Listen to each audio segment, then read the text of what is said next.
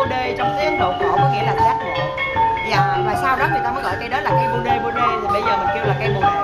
Nên là người ta làm, còn sinh ra là gốc cây sa la.